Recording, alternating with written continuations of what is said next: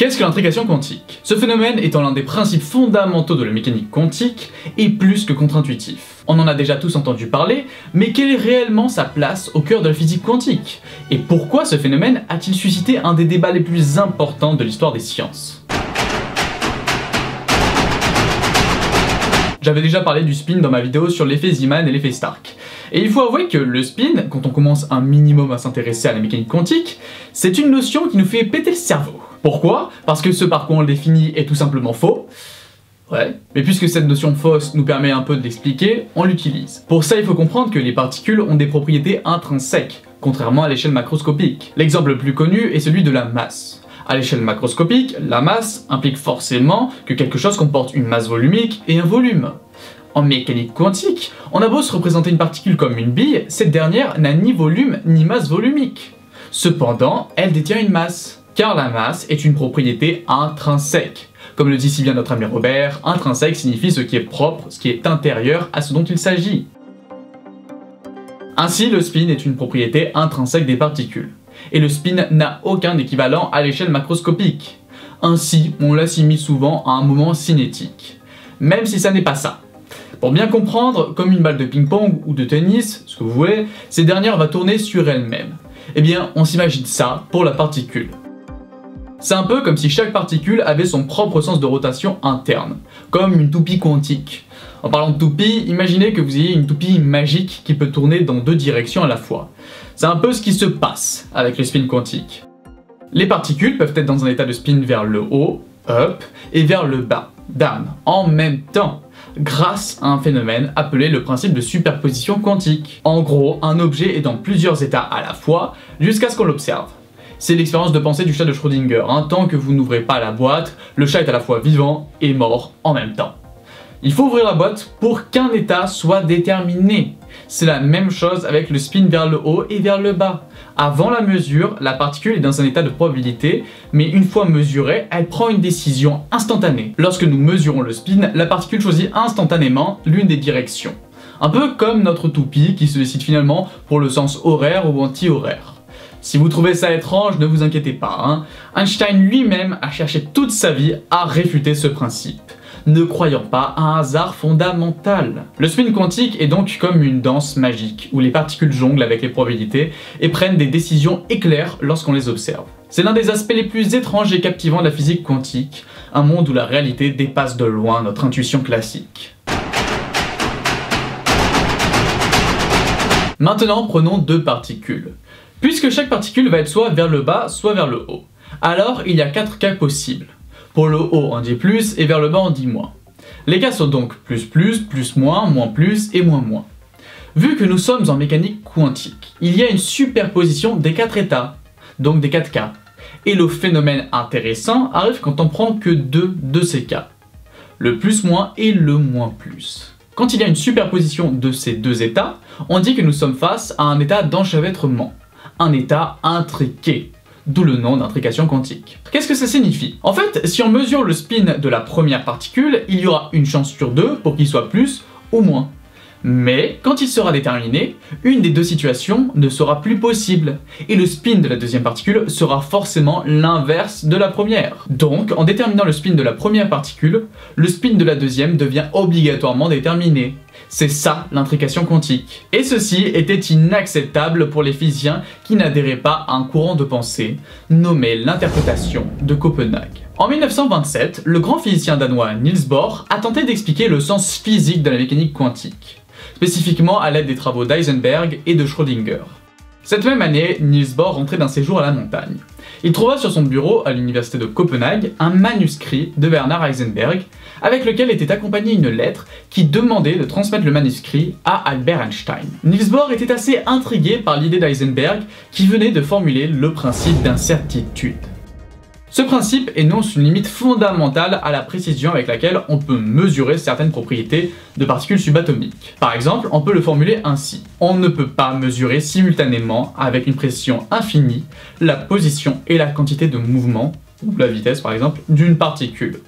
Plus on connaît la position d'une particule, moins on peut connaître avec précision sa quantité de mouvement et vice-versa. Ce principe, qui est aujourd'hui bien établi en mécanique quantique, était biaisé pour Bohr, puisqu'Eisenberg avait négligé les propriétés ondulatoires de la matière. Sauf qu'Heisenberg corrigea son manuscrit aussi vite qu'il avait posé sur le bureau de Bohr, et les conclusions étaient exactement les mêmes. L'incertitude, ou plutôt l'indétermination, était inhérente à la mécanique quantique. Mais bon, ceci étant pris en compte, Heisenberg et Bohr ont eu un petit différent par rapport à la vision de ce principe.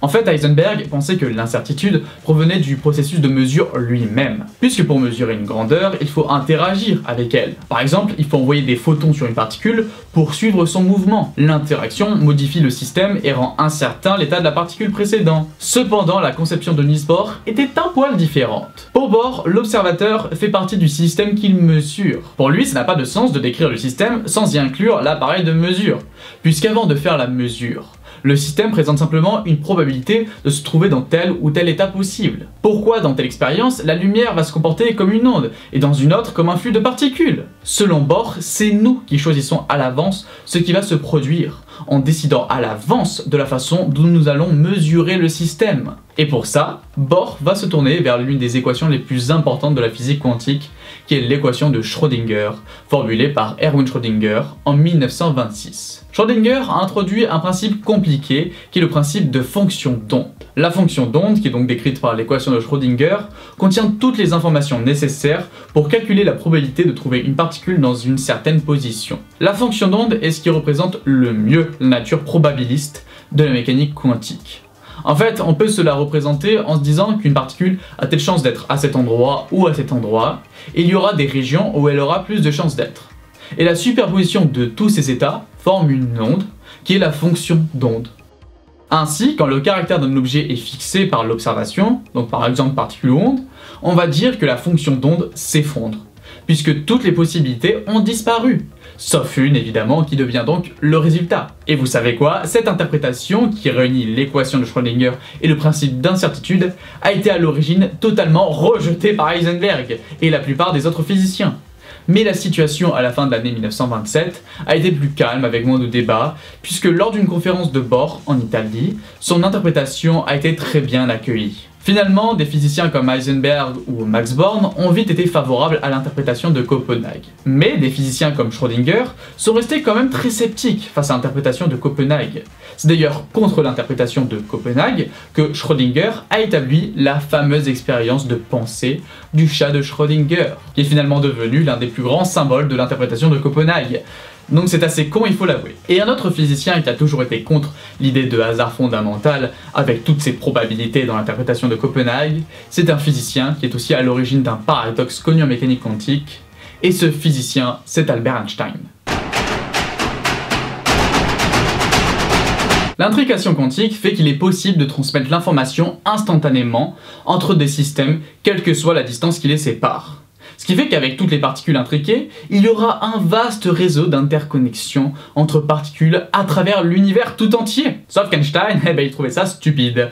Et pendant longtemps, il y a eu ce débat entre Einstein et Bohr, dans lequel Einstein essaie de trouver des points qui contredisaient l'interprétation de Copenhague, mais il faut rendre à Bohr ce qui appartient à Bohr, Bohr détrivisait tous les propos d'Einstein, avec parfois une pointe de condescendance amusante. Par exemple, c'est amusant que tout le monde retienne la phrase d'Einstein « Dieu ne joue pas au dé », alors que Niels Bohr lui a quand même répondu « Qui êtes-vous pour dire à Dieu ce qu'il doit faire ?» Il faut avouer que la répartie elle est pas mal. Et quand ces derniers parlent de Dieu, il faut entendre les lois de la nature. Hein. Einstein croyait en une force créatrice, mais en aucun cas à un dieu théiste. Hein. Si vous voulez savoir son opinion sur le dieu chrétien par exemple, voici un extrait d'une lettre écrite par ce dernier en 1954.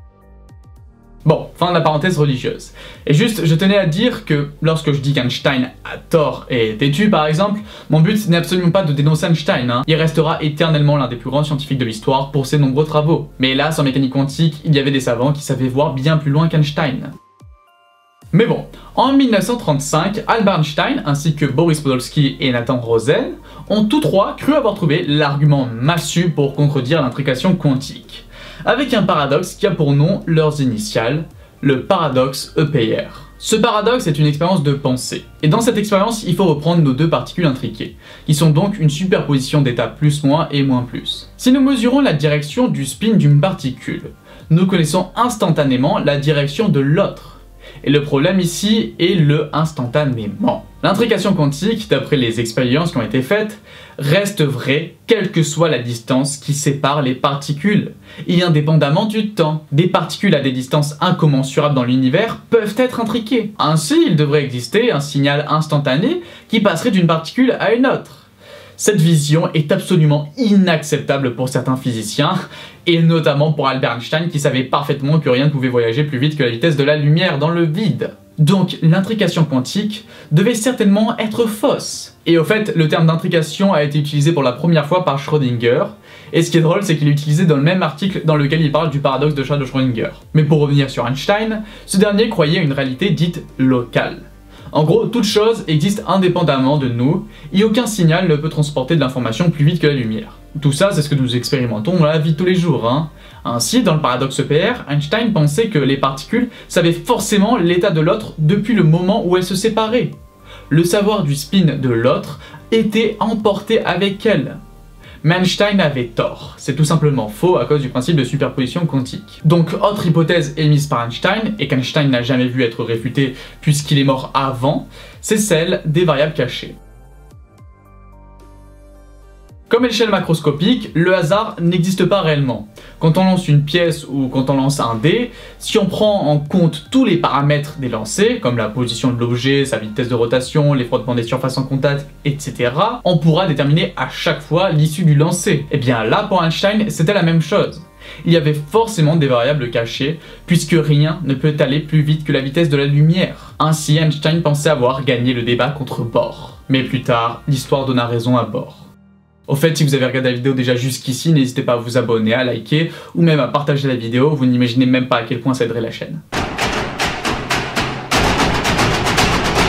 En 1964, un physicien du nom de John Bell s'est immiscé dans le débat de nos deux physiciens, même s'ils sont morts. Dommage. Ainsi, Bell a imaginé deux fermions dont les spins étaient complémentaires, donc par exemple deux électrons, dont l'un avait un spin up et l'autre down. Ces derniers sont corrélés et s'éloignent donc dans des directions opposées. On ignore la valeur de spin portée par chaque particule, et des mesures sont réalisées sur les deux particules où elles sont. Chaque observation indique un spin up et un spin down, et chaque mesure réalisée indépendamment sans que l'on sache quelque chose de l'autre particule. La probabilité de mesurer une direction particulière de spin dépend de l'angle, compris entre 0 et 180 degrés, sous lequel elle est mesurée. Hein. Elle est égale à plus 1 quand la mesure est strictement dans la direction du spin, et à moins 1 dans la direction opposée.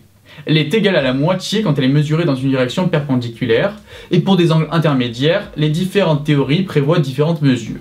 Et en fait, avec toutes ces données recueillies, le théorème de Bell permet d'avoir des statistiques de ce qui serait obtenu lors de nombreuses expériences, donc réalisées avec des angles variés.